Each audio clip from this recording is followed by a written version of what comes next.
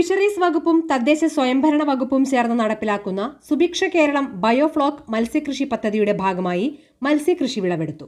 നാരായണമംഗലത്ത് മത്സ്യകർഷകനായ കൃഷ്ണന്റെ വീട്ടിൽ ഇന്ന് നടന്ന വിളവെടുപ്പ് advocate V R Sunilkumar M L A ഉദ്ഘാടനം ചെയ്തു. നഗരസഭാ chairperson M U Shinija teacher അധ്യക്ഷത വഹിച്ചു. Standing committee ചെയർപേഴ്സൺമാരായ Latha Unnikrishnan L C Paul കൗൺസിലർമാരായ E J Himesh Anitha Babu fisheries project coordinator A A Simmi എന്നിവർ സംസാരിച്ചു. അക്വാകൾച്ചർ പ്രൊമോട്ടർമാരായ ശ്രുതി സോധിക അച്ചു രജിത ഉല്ലാസ് രേഷ്മ രജിത്ത് എന്നിവർ നേതൃത്വം നൽകി. ഈ ചടങ്ങ് ഔപചാരികമായിട്ട് ഉദ്ഘാടനം നിർവഹിച്ചായിട്ട് വേദിയിൽ പ്രഖ്യാപിക്കുകയാണ്. നമുക്കറിയാം സുഭിക്ഷ കേരളം പദ്ധതിയുടെ ഭാഗമായിട്ട് കൊടുങ്ങല്ലൂർ നിയോജക മണ്ഡലത്തിലെ വിവിധ ഭാഗങ്ങളിൽ ഫിഷറീസ് ഡിപ്പാർട്ട്മെന്റിന്റെ നേതൃത്വത്തിൽ വളരെ സജീവമായിട്ടുള്ള പ്രവർത്തനങ്ങളും ജനോപകാരപ്രദമായിട്ടുള്ള പ്രവർത്തനങ്ങളൊക്കെ തന്നെ നടത്തിയിട്ടുണ്ട് എന്നുള്ള കാര്യത്തിൽ യാതൊരു സംശയവുമില്ല.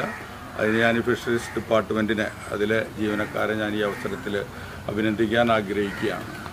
നമുക്കെല്ലാവർക്കും അറിയാം ഇന്ന് കടലിലും പുഴയിലും ഒക്കെ തന്നെ മത്സ്യസമ്പത്ത് കുറഞ്ഞു വരുന്നൊരു കാലഘട്ടം കൂടിയാണ്.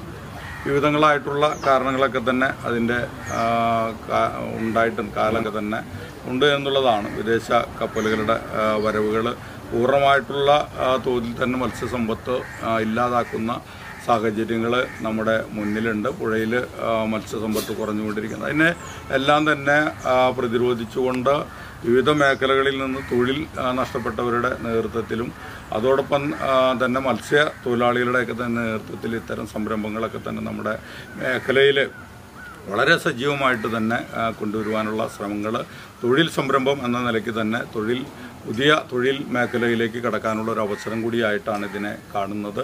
തീർച്ചയായിട്ടും ഞാൻ എല്ലാവരെയും ഇതിന് മുതിർന്ന ഇതിന്റെ മുനിസിപ്പൽ ഭരണ സമിതിയെയും അതുപോലെ തന്നെ ഫിഷറീസ് ഡിപ്പാർട്ട്മെന്റിനെയും അതുപോലെ തന്നെ ഇതിന്റെ എല്ലാം തന്നെ മുൻകൈ എടുത്തുകൊണ്ട് സ്വന്തം വീട്ടിൽ പ്രാബല്യമാക്കിയ കൃഷ്ണേട്ടൻ അതുപോലെ തന്നെ മക്കളായിട്ടുള്ള ഷനിൽ ഷൈൻ എന്നിവരെയും ഞാൻ ഈ അവസരത്തിൽ അഭിനന്ദിച്ചുകൊണ്ട് ഈ ചടങ്ങ് ഔപചാരികമായിട്ട് ഉദ്ഘാടനം നിർവഹിച്ചായിട്ടും വേദിയിൽ